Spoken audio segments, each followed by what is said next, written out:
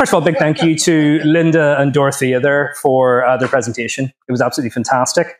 Uh, the second part of the evening, we're going to be having it's it's more of a kind of informal conversation with uh, Sean Fitzgerald, who we have here today. Um, I have a wee introduction because I really thought today, well, we want to promote Ella Young, but I'd really love to make Sean feel incredibly awkward in front of a room full of people under lights. So residing, I'll just go to the bar. residing amidst the serene solitude of the remote northwest of Ireland, Sean Fitzgerald is a multi-talented artist and writer whose creative explorations delve into the enigmatic realms of Irish mythology, folk magic, Gnostic philosophy, and the mystique surrounding sacred sites. With a keen eye for the occult and a profound reverence for the esoteric, Sean Fitzgerald's work endeavours are captivating synthesis of ancient lore and contemporary interpretation. Through his evocative artwork, Fitzgerald ventures into the shadows of folklore, unearthing narratives brimming with both haunting beauty and visceral intensity.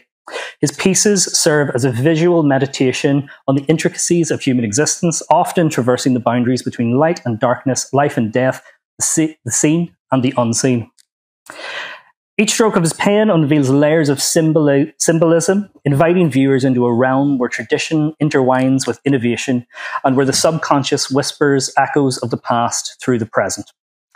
Sean Fitzgerald's distinctive style is marked by meticulous attention to detail, evident in the intricate knotwork that weaves throughout his compositions like a thread connecting the past to the present. His drawings, imbued with a sense of mystery and reverence, resonate with a primal energy that speaks to the depths of the human psyche. Beyond his visual artistry, Sean Fitzgerald is a wordsmith, weaving tales that blur the boundaries between reality and myth.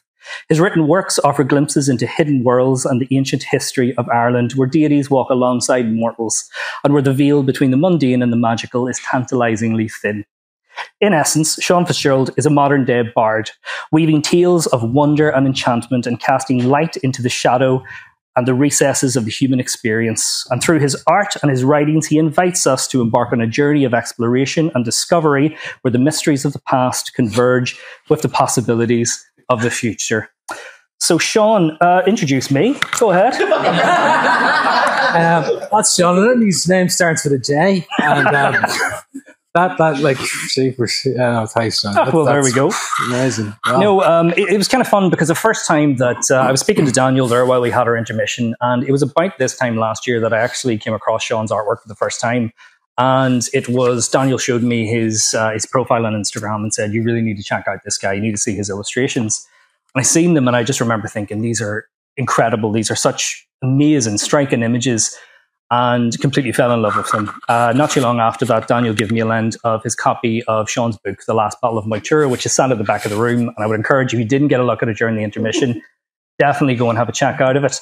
And it's one of those things where I, have always had a belief where things cross your path when they're supposed to. And at the time that Daniel gave me a lend of that book, uh, we had had uh, a loss in the family at the time. And I always find that when you have moments where you need a little bit of escapism, sometimes those things just come your way. Because this was a book that I had wanted to have. I didn't know it existed, but I'd read so many books that were filled with stories of Norse mythology, Egyptian mythology, wonderfully illustrated. And I wondered where the book was of Irish mythology that had this very particular style of illustration. And suddenly there it was at a time when I needed it most. So I reached out to Sean and I asked him to come on a podcast that I was starting. He happily accepted and we sat down and connected that way, had a great maybe hour and 20 minutes, hour and a half conversation. But one of the things that struck me at the time we finished recording, and I looked at the acknowledgements in the back of the book, which at that point I hadn't read, and what was the first name in the acknowledgement? But Ella Young. I just thought, ah, oh, Jesus, there was so much we could have talked about there. But um, I suppose that's the best place to start with our, our evening all about Ella Young. George Russell oh. was one of the other acknowledgements, but I was curious about then what is it about A. Russell and about Ellie Young that you would acknowledge them in the book? What what kind of impact had they had on your work? Uh, well, uh, for me, Jonathan, you, you, mentioned there was a, a bereavement in your family. Uh, for me, my dad died. This is like uh, 2010, and you know we've all had bereavements in our life, and he had like a. Sorry, I'm going to get a bit kind of low here, but he had like six months to live. It was pancreatic cancer so I was looking after him, and it was very, it was you know, it was tough going, and you know, we've all had you know people who've died in cancer with us, and uh, so when he when he died, I had like I went into like I, I suppose you call it kind of um, uh, reactive depression, and so I used to go walking. And so I live uh, in the just beneath the Derryveagh Mountains, and I'd go wandering up, and you'd get to certain peaks, and you'd see out, and you'd see this Tory Island. And Tory Island's one of the first. Well, it is the first place mentioned in Irish mythology in, in our old uh, annals, and uh, so I, I, wanted to hear more. Like you talk to people locally, and, and you'd hear Balor and Lugh, Balor and Lugh, and um, Balor of the Evil Eye lived on on Tory Island, and so at the time, uh, because of the depression, I'd left my job, and so I had no money.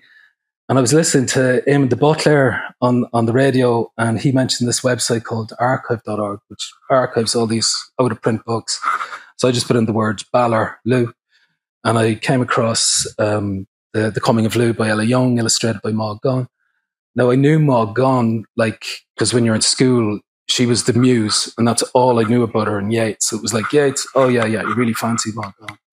And um, so I was kind of really enjoyed the illustrations, and uh, I didn't even know she was an illustrator, you know, because it was Yeats, Yeats, Yeats. And growing up, I, I am a fan now, but I, I, didn't, you know, when you're 16 and there's kind of a guy, grey hair, talking about picketed fences, it doesn't really, you know, um, no harm to it, man. And uh, so I was looking at Ella Young and, and her. So my my family were, were from underneath. My, my my parents like are from underneath the Paps of Anu in a place called Gneeveguilla. Like the population's about fifty, and there is a Shanachie there. It's a well-known Shanachie there, and I found her writing reminded me of it wasn't like the way you'd read a, a story. It was like written in a very like you, know you'd say Shankus or, or Shanachie. It's like it's a very different style of storytelling. Like it's it's, it's very like you could say it's simplistic, but it, it's um to me there was like a nostalgia. I felt like you know, I could be related. You know what I mean? Or, or there was something, or, or, she could have been a neighbor. There was something that really got to me, and, and it was the death of my father, and it was kind of there was kind of a link to it, you know. And um, uh, so I, I, started reading that, and, and I, I, just thought this is amazing. Like, and, and then like anything, you know, you want to know about the writer. And then I read on Wikipedia, like I, I, don't know how true it is, but back then it was on Wikipedia, and it said, "Oh, you know, she she was like destroyed, and she had like a purple robe, and it stopped her going into the U.S. because they said she was believed in fairies." I was like, "She she sounds fantastic!" Like, and uh, so there, uh, like you were saying, Linda, I couldn't find much, and um, I checked the census from uh, was it 19? You know the way you can see the Irish census for free, and I think it was 1935, and it said religion pagan. I'm like, Jesus, why did you say that in 1935? I was in 1911. Sorry, yeah. and uh, That's even okay, better. 1911. and you think like, like you know, so I, I was fascinated, and uh, so then I, I read Maud Gonne's um, uh, autobiography.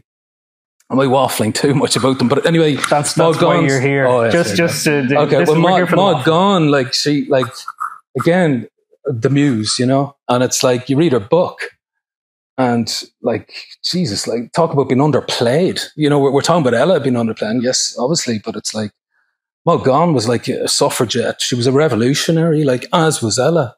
And like Maud Gonne, they uh, Maud Gonne, I think she started it. Was the um, we're gonna look at you.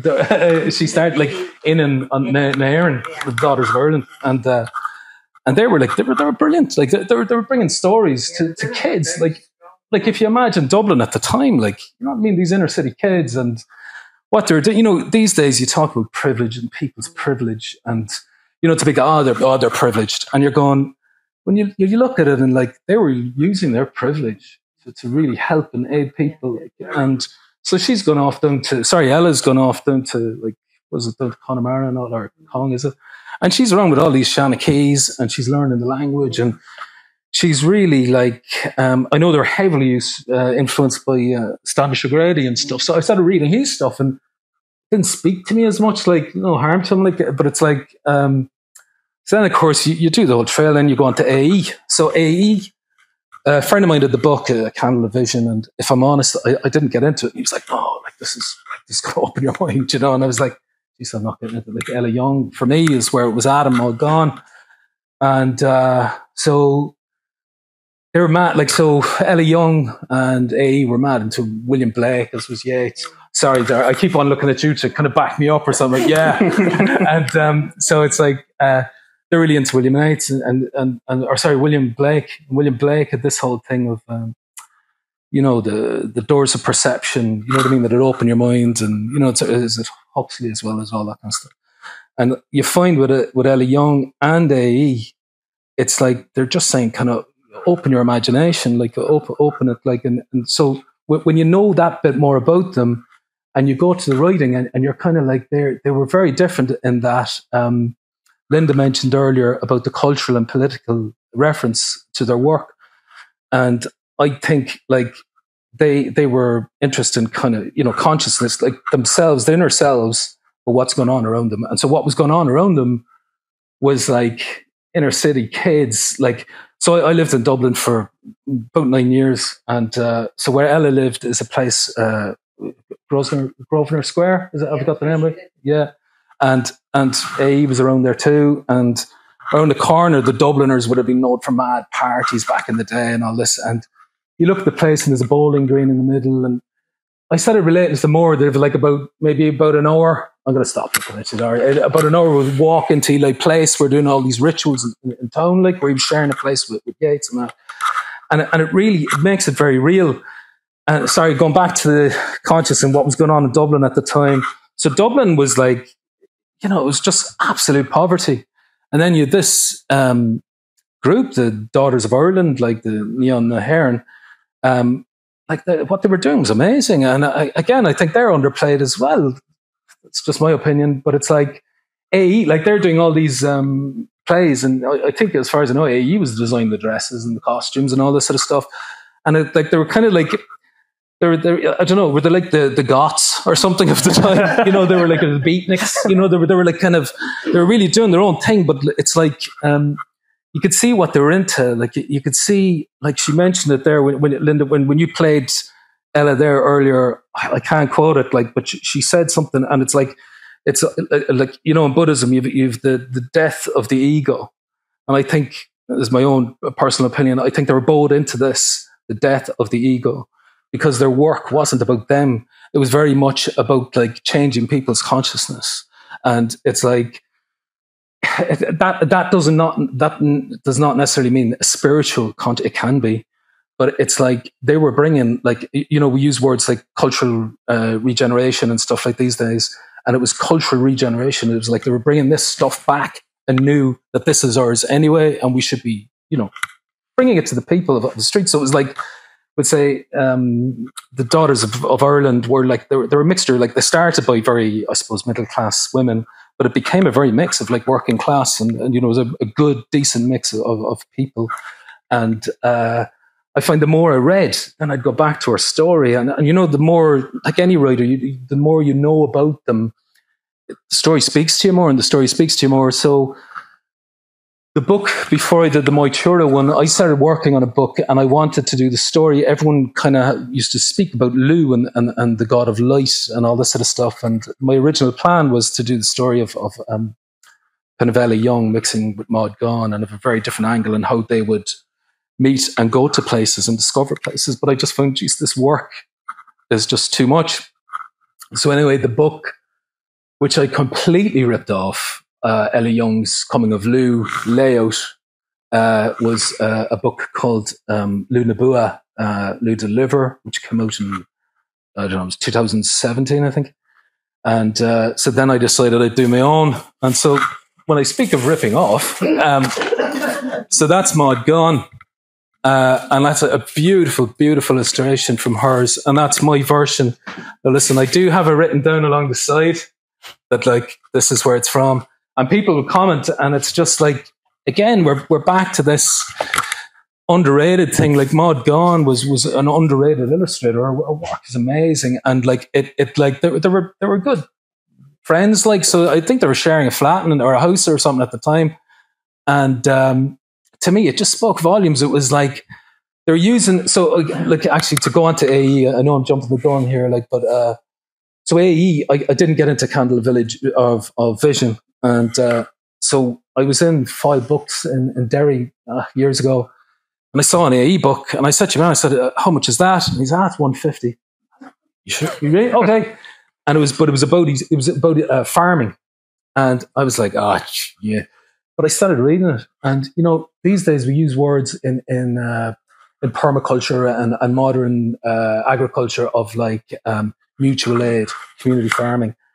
Here was AE using all these buzzwords back then. Like, I, like I'm not, maybe it's 1912. I'm not too sure that book on on, on farming that he had. And you're like, they were way before their time, like way before their time. You know, uh, I really ranted there, but did that answer the, the question? That's fine. Yeah. That's fine. But I put it back away. at you, Jonathan. How, how did you get into Ella or A?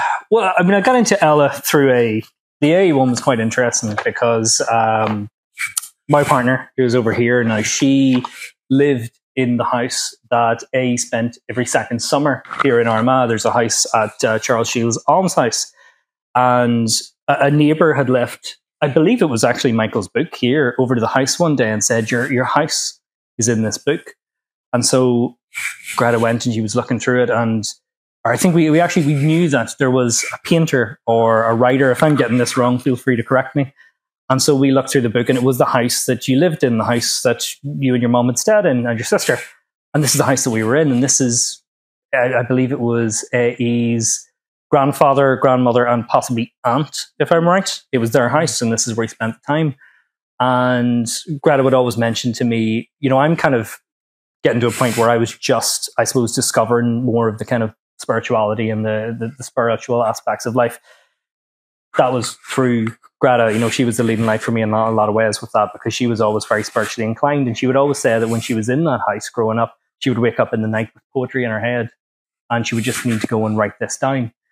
And so that kind of, I remember thinking, well, I need to look into this guy a little more. But at the time, we were in the first lockdown and lockdown with, you know, a, a less than one year old and a three year old. Needless to say, I did not get looking into A. Russell at that point.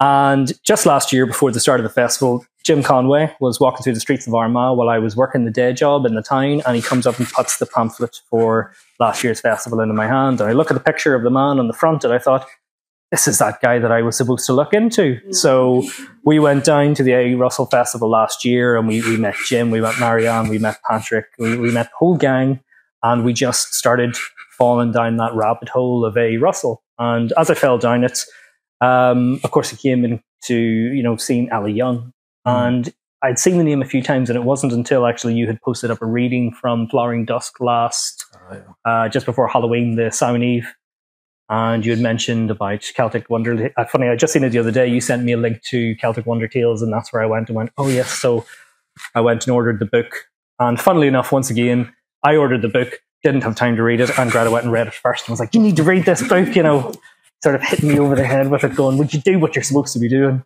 But uh, so that brought me into Ella Young, and then just recently with uh, Dorothea's book, which again the, the, copy of it's down the back, fantastic piece of research on the life mm-hmm. of Ella Young. I started to discover more and more about who she was, and you see this, as you had mentioned, this revolutionary woman mm. who was again so far far ahead of her time. And I think that we live, like I've said, it's quite a lot to different people that spoke to it at craft fairs and so on, that we live in a world at the moment where I think people are as interested nowadays in the artist as they are in the art. People want to know the story behind it. And the more you look into A. Russell, the more you look into Ella Young, you're finding this backstory that enriches the work that they put out so much more. It, it makes A. Russell's painting so much more visceral. It makes Ella Young's writing so much more poetic when you understand the people that they were behind it. And so that was sort of my introduction to them. Mm.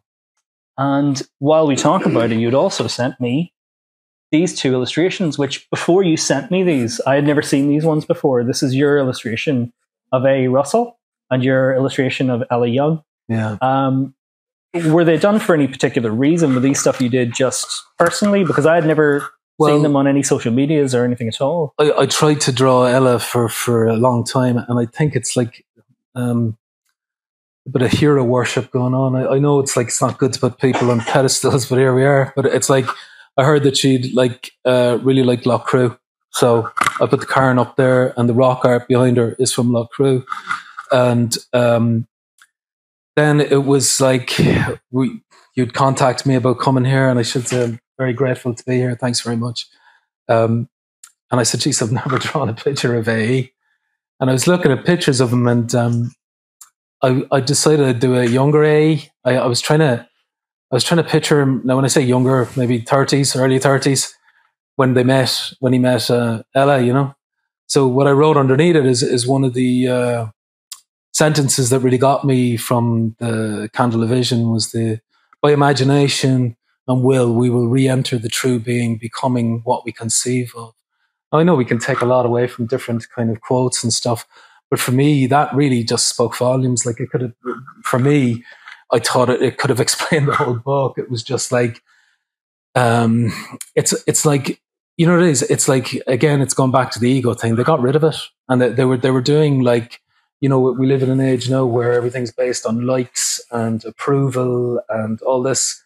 They were just doing it like, and it wasn't about to be um, again like going back to what Linda was saying, like there were different times, like so it's kind of like a lot of the stuff they're into, like even even like stating that she was pagan, stuff like that could get you into a lot of trouble, like you know. And um, I I think that's what I really admire. There were just such different times, and it's to get into the mindset of then. It's like they just did their own thing, and I, I wish people like you know we, we, we see in Irish mythology. Uh, I think teaches it, uh, us a lot of stuff of like you know. Uh, Jay, James O'Donnell, photographer down there, we are chatting about like envy and, and how bad it is, like, and, and that there's a lot of envy can happen on social media with, with artists, photographers, and it's just like uh, again, it's like it comes up in, in mythology. You have the envy with, um, I suppose, uh, Fionn McCool when he's older. There's there's different like actually in Irish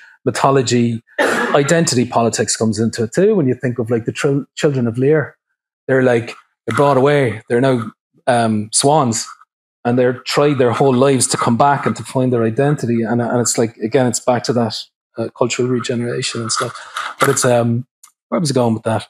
Um, it's like I, I just find it's like the the idea of envy. I never it never struck me in any of their work. It, there was like Yeats, I'm sure was was doing great and and was the, this kind of overshadowed figure, but it's like it didn't strike it. I didn't spot it anywhere. It was like they did their thing and they did their thing, and, and that was it. Like, and you know, I think we could learn a lot from that. You know, yeah. I always find when you're talking about that idea of you know not doing that work without ego, and it's it's a big thing that people would talk about with a, and obviously a lot is made with his his relationship with Yeats, and I always see them, you know, almost comically in how much they are that yin and yang. Mm. You know, Yeats didn't ever strike me as someone who was probably like he was very much someone who seemed like he he loved a bit of validation. He would love this social media, people liking yeah, all of this yeah, stuff, right, you know. Suppose, yeah, but again, it, it does come across with AE and, and certainly with Ella that that certainly isn't where they're coming from. There was, mm. I'd say, a, a genuineness that comes across in not just their work but in their life. And I think it was, it was AE's son that when he eulogized him said that you know his life was his masterpiece. And I always thought that line sort of stuck with me because I thought it was just a really perfect way of summarizing it, but also what an incredible way to be remembered for people to think about you and your life's work in that context. And it was always something that really struck me about it. Mm. Um, the the Ella Young illustration here, I, I, was kind of looking over it the other day. Um, the one thing that I was quite interested in in asking you about is I see when I look at Ella, like this is such a good likeness of her. Like the, the illustration, there's no mistake. And if you're aware of Ella Young that this is Ella Young that you're looking at. And as I kind of inspected the illustration more and more, in terms of the face itself, you've managed to do so much with so little. There, there's not a tremendous amount of line. Mm. Shading is relatively minimal within it, and yet the likeness of it has come across so well. Is this something that is requiring a lot of experimentation for you to get to that finished piece or, how exactly do you come across being able to visually communicate her portrait in such a minimal way? Um it's it's you know it is it's like see with the ae one um that was done in a week so it was like i had to scribble and there's lots of scribbles yeah. and cross hatching whereas that like i made loads of attempts at that. Uh, I'd, I'd read somewhere that she really likes swans so I was like trying to put in a swan and I was trying to wrap her in a swan and it just looked really cheesy. And um, so it was like, I, I, was like, okay, well, like her thing was mountains. Like, uh, she mention in that audio piece you played, Linda, was like, you know, she was on about, you know, to um, the more you say hello to a mountain, the mountain will say hello back to you, you know, and uh, so I was kind of going, well, that's where her heart is. Like, and she was on about like uh, ancient temples of like how you you'd bow down and that you're you're going lower and then you're getting higher. So Loughcrew, that's Cairn. Is it Cairn T, James? I can't remember which one it is. And it's like, so it's the one that's like you go in and you crawl under exactly how she explained, and then you're in an open space. Um, so I thought that would kind of link in. She mentioned that there's lots of different places that um, she mentions it. So I I was drawing different versions of the Cairn going this way and that way. So it's like it might look sometimes that maybe it's quickly done, but it, you, you know yourself. Like you were chatting earlier about your piece, yeah, the one here in our bar of of um, Omaka. Yes, um, and it's like you know yourself. You, are constantly changing it. At the end, you're kind of go, oh right, yeah, you know, it's like something like might look simplistic, but like anything, like writing or anything, there's so much put into it. Do you want to tell your story about your uh, piece? Yeah, well, I'll skip a few frames down to get to it because I was going to talk about it in a little bit. There was a piece uh, that I had started. It was down on the table there. Oh, we're just in, a, in an odd place. There we are. It was a piece that I did of uh, Eamhain Mhacha of Navanfort, and I tried to create something that was a little bit contemporary, a little bit abstract, but showing off the locations of the site. Now, interestingly, and I've never put that up anywhere, I did, before I do anything, like the roughest sketch of roughly what I think something's going to look like. And I just had this idea of overlapping shapes, kind of referencing the idea of network, but in a, just a very kind of unusual way. And I had did the initial sketch for this before I went to last year's A Russell Festival. And obviously we were so much, so busy going to different events over the course of it that I just did that quick little rough sketch and said, I'll get back to it afterwards. And at the time, in that left hand piece, you can see that the underground area that I had initially thought of, there was like a table and you had like a high king, there was a puka, a giant, there was a banshee. The idea I had was I wanted to reference the kind of pagan and pre-Christian history of the Navan fort. And I thought at the time, well, I'll put in these characters from Irish mythology and I'll, that'll be the way to communicate it. And then, of course, we went to the A Festival and I got to sort of be introduced days paintings. I got to see so much of the great work that was on display here in the museum at the time and listen to all the talks by Jim, by Michael, by Patrick, by everyone who was there. And I seen his spiritual paintings, the way he depicted the Sidhe, the way he depicted all of these spiritual beings that he was seeing. And he had a way of showing them where they were these ethereal characters. They were these kind of light beings that were standing amongst uh, these different scenes in, in rural Ireland or on beaches in Donegal. And I just remember thinking, oh, I really love that idea. And another element that I seen throughout A. Russell's paintings was he would always have women depicted in different stuff like the potato gatherers piece. And it was always usually three women.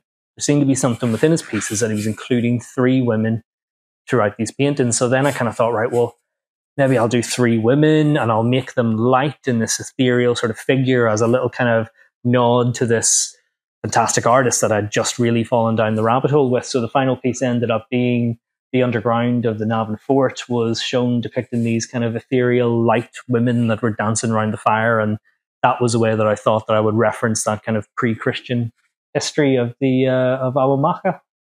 So brilliant.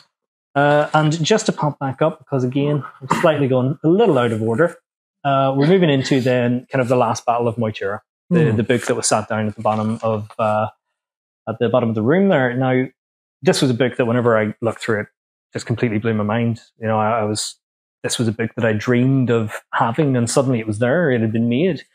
And one of the things that I find very interesting is, first of all, I was blown away by the intricacy of some of the knotwork that you'd put into it. I mean, even on this back cover, that's you could get lost in so many of those details that are included in it.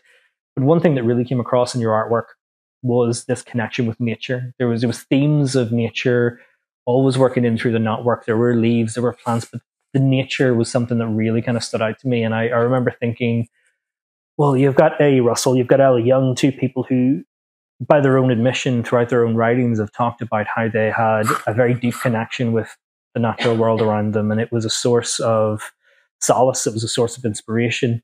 I was wondering with your own illustrations, is that something, do you work in this nature? Is it just because you feel it looks nice? Is there a connection that you have with the land that you feel that that's how it works itself into your work? Or is there any connection that you would find with the land yourself?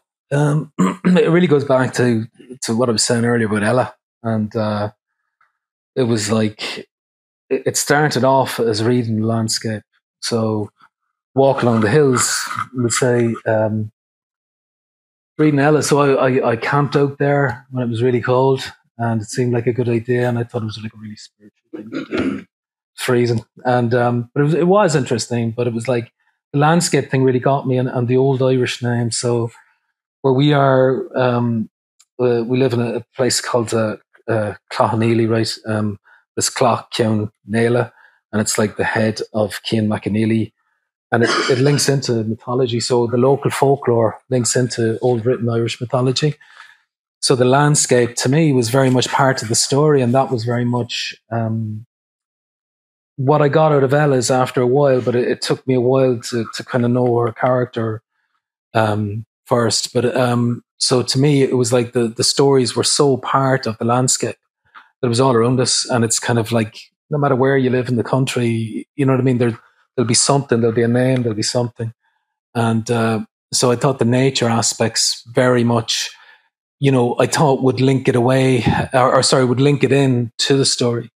Um, so all around us, like especially in the mountains, there it's like ferns; they're everywhere, and uh, and then of course the the stag's head. I think it has this. Um, you know, when you look at, uh, so it mentions the Dagda in that, and one of the names for the Dagda is Furben, which means uh, pigged man, like something like a horned figure.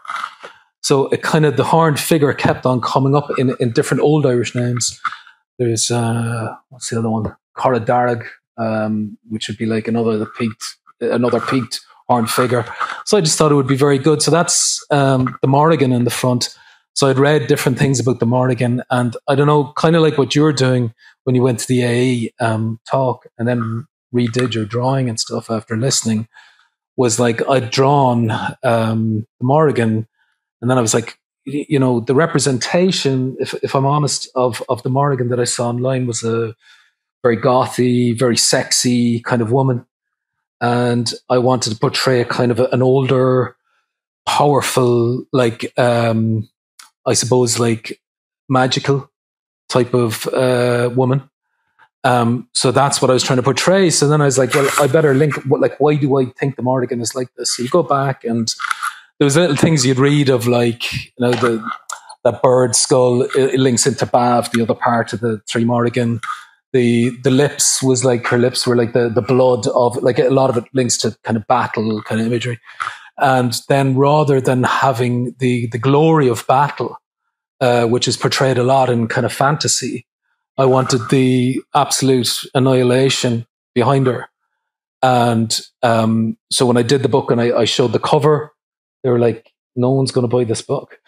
Um, so it's just like I wanted, like, so my previous book to that, um, it's like the heroic blonde haired figure of Lugh going into battle. And I like it, you know, but I just thought that it spoke more to me about battle rather than glorifying battle because, of course, the Morrigan is known for um, giving a big prophecy at the end of that battle. But um, anyway, to go back to the to the whole thing is it's like the knot work.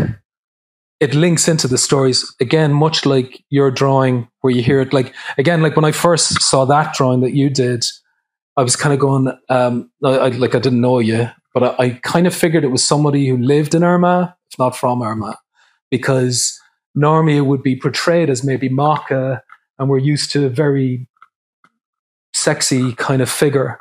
And uh, to me, it was like, you know, the landscape, yeah. the hilly landscape, and you could see the whole thing in your drawing.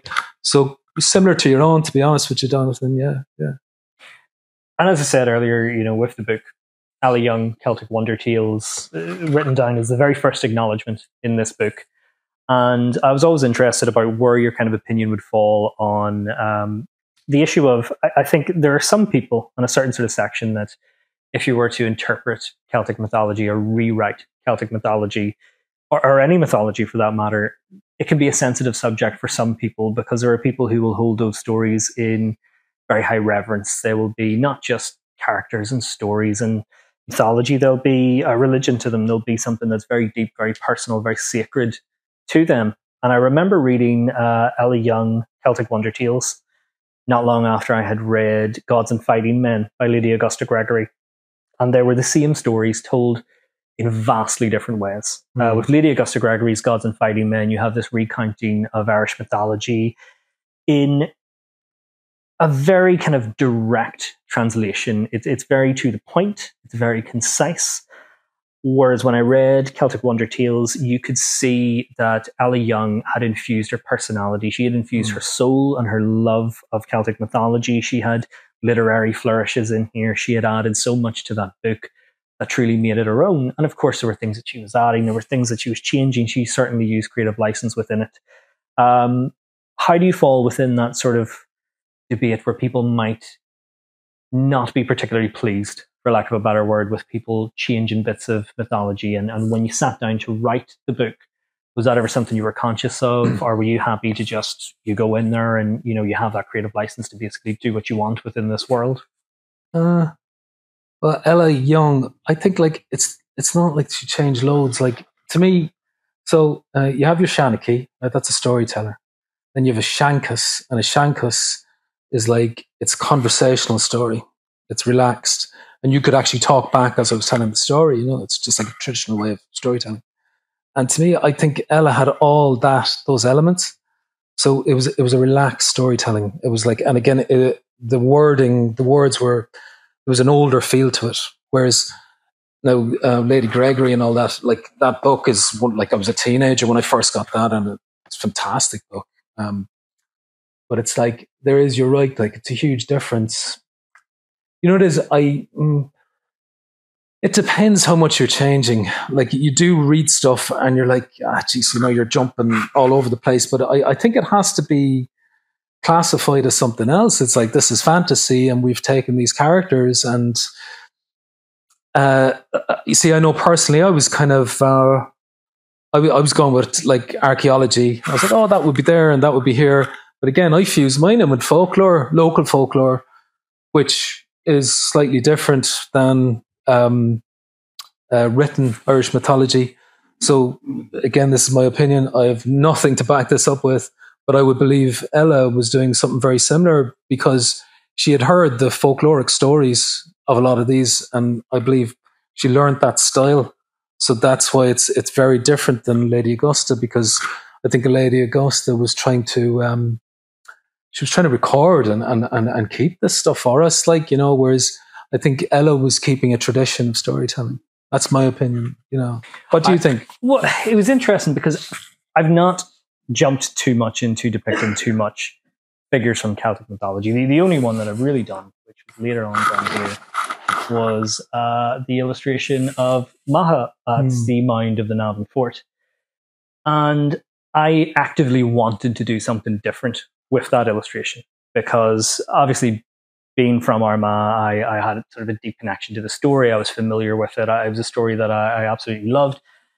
The the Navan itself is just one of my favorite places to be. Always has been. We for different reasons. As a child, it was our favorite place to go to because we took our bikes up there and we would fly down the hill with reckless abandon in bikes that didn't have brakes and fall into hedges struggle home. And then as I get a little bit older, you kind of go there and you feel that there is there's this energy to this place. There's a magic to that place, and it's it's so visceral. You feel it when you stand at the mound at the Navan Fort. You feel the energy of that place. It's it's palpable. It's in the air. And I knew that I wanted to depict Macha in a very different way because for me, I always felt that the way people depicted her was very much her inner fury her as she curses the men of Ulster. And that's not quite the way I wanted her to be portrayed. Um, I kind of felt that I remember reading Ella Young's Celtic Wonder Tales, and there is the, the very opening of that book. Ella writes about uh, Bridget, and it's the sort of creation myth, if, if you will. And there's a way that she writes about Bridget and how the other gods are around her, and they almost hold her in this motherly reverence within that start of it. And Bridget, in that very, very beginning of Celtic Wonder Tales, you can see this, you know, through her words, she is painting this picture of this serene, caring figure that all the other gods have just such a, a deep respect for. And I kind of thought, okay, well, I really, really like this. And part of the story with, with Macha, for anyone who doesn't know, she's pregnant with twins. Later, she's made to race the king's horses, and that ultimately results in her death and her putting the curse on the men. Well, a curse and a blessing on the men of Ulster. The blessing is that they will be the best warriors in Ulster. However, at the time, or in Ireland, and at the time when they need that strength the most, it would abandon them. And I kind of didn't quite. I don't connect on a personal level with putting a curse over an entire country. I don't know about anybody else. I don't often run around cursing entire countries. It's not something that I really get into. And as well as that, so much Celtic mythology was depicted with the battle, as you were speaking. It's glorified battle in a lot of ways. And again, I don't run around too many fields with axes, not all that often. And I thought about what was the human point of contact for this character? What is a thing that an audience can see in this story and really connect to? So I started to think about, well, Macha when she was pregnant, you know, the, the love of a mother. Uh, having two children and, and watching my partner go through the whole childbirth process, you see this unconditional love that is unlike anything else in the world. The love of a mother is something completely different. And I wanted to capture not just the love of the mother, but of course the tragedy of the story of Macha. Of course, she is carrying twins that ultimately, if she's another worldly being, if she's going to have some idea of what the future holds for her, she will know that she won't be around for those children. She won't get to experience all the joys that a mother would. So I initially began by drawing just the figure. It was a, an ink sketch of the figure of Macha here holding the uh, the baby bump. And um, Greta, my partner, came down the stairs. She seen this illustration, and instantly she had a connection to the black and white sketch of it. And she took she took the sketch and she went and she sat with it. And as I'd mentioned, you know, she was kind of my introduction to a lot of spiritual stuff, and she felt a connection with Macha looking at the piece. She got a very, very strong feeling of there are certain things that she would want in this illustration. There's certain aspects that you need to include in it. So we kind of began to, I suppose, produce this piece as a bit of a collaboration between my illustration and the message, the feeling that she was getting, this channeling that she was getting. So along with that, I went on to kind of rewrite the Macha story to fit with this, what I feel was a unique depiction of her. And I wrote a story of Macha when she's heavily pregnant with her twins and she goes into an ancient forest. This was her going out and she connects with an ancient rowan tree. The, the roots go to the underworld and she receives the vision of what is to come. So she will know what her future entails. And I wrote that, I posted it up when the illustration went up. And for the most part, I got people saying, you know, oh, it's really good, really love the illustration, really like that story. But there were a few people who and it wasn't just online. I've had it at craft fairs before, and people have just very casually said, well, that's not part of the story. And I'm just like, oh, all right then. And so that was the first time I became aware of some people might take a little bit of kind of offense to.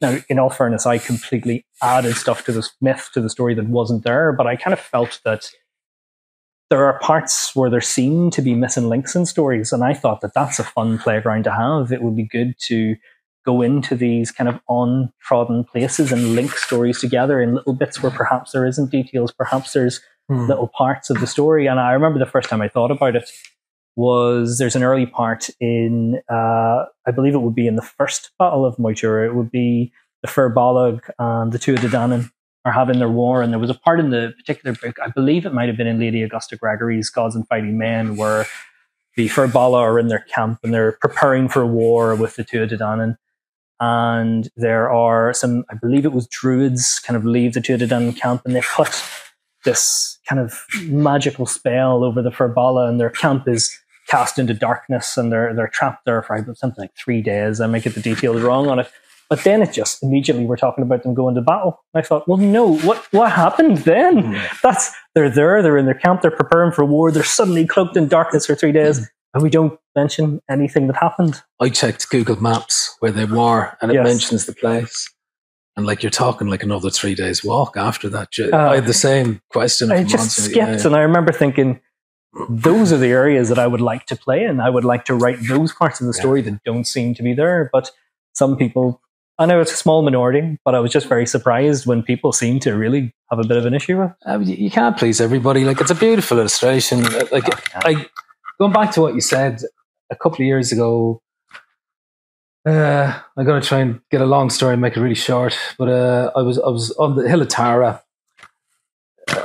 like there was right wing kind of groups going up there, right? And um, so I had the bright idea. I had a drawing of Lugh on a horse, and I, I put a pride flag on the thing, and all hell broke loose. Like, it was, it was, yeah. I, I kind of blocked comments. I was getting like, um, "You're a traitor to Lugh. You're a traitor. You're not Irish. You're."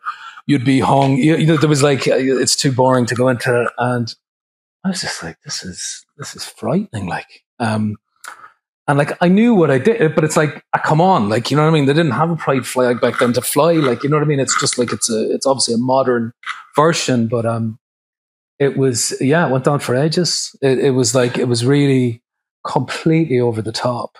Um, but yeah, it was like in saying that though, this the same drawing was used for the. It's now the logo for the first uh, Pride in the Gaeltacht, which is broad. So kind of it had a nice little happy yes. ending, and they hung it up in Dublin Castle. So you're kind of there going, eh, you know, maybe all that kind of crap online wasn't too bad after all, you know. But it's like you can't win, and, and it's like someone could go, oh yeah, but why is there three three trees there, Jonathan? There's there's there's not three there in that picture. Well, the trees are not even like, the same yeah, trees. They're yeah, the ruined so. tree from the story, and I completely just went and changed that as well. But no one's no one shouted at me yet for that. I haven't Good. had the Navan Heritage people are, aren't shouting at me for my slight change of the trees. But uh, we did. There was a few illustrations I had up here of of AE Russell's. We were going to possibly discuss it. However, we're quite pressed for time, so we're just going to kind of. I'll put them up on the screen. These were incredible illustrations that are housed here in the Armagh County Museum. They are illustrations by AE Russell. Um, when we first ever started talking about ideas for this evening, there was a plan that I'd wanted to get Sean and Jim Fitzpatrick, and we would do a whole presentation all just about AE's illustrations perhaps that may be something we get an opportunity to do at a later date. Jim wasn't able to be here. But mm-hmm. uh, when we're doing events down in Dublin for the society, keep a wee eye on us or even follow us our wee mailing list because that's something that I would love to do at a later date. I'll kind of take, quickly scroll through them. They're all housed here in the County Museum. Uh, these were all untitled illustrations AE did for a manuscript of poetry, but they're fantastic. Wow, that's they're amazing, isn't it? Yeah. And it's one of those things that we talk about AE being a guy who had so many strings to his bow and not a lot of people talk about well, people don't talk about him as much as they should, but when they do, they talk about his mysticism, they talk about his paintings, they talk about his poetry, his, his agricultural reform. The illustrations are another area of AE that there's not a tremendous amount of them, but they do not get anywhere near the love that they should because it's just absolutely remarkable stuff. Beautiful, beautiful pieces. I like with the ones of the she. it's like when you read some of the older mythology, yeah, they'd say like how tall they were and the light. And you see that like, like well to me uh, he's one of the first really I think who caught that like you know what I mean? It's like they're, they're absolutely amazing. They're magnificent. And again we'll we'll hopefully have a later event where we do get an opportunity to really sort of crack on into them. And I just think that to me these things don't happen by accident and there's there's an energy that we have around us at different points throughout history and there's an energy happening at the moment which I think the time is right to continue writing painting, drawing, promoting these people who held ideals that we could learn a whole hell of a lot from today. And we just need to keep pushing on that and making sure that the message that we put out there is the right one because this is the message that ultimately falls on the right side of history. Thank you.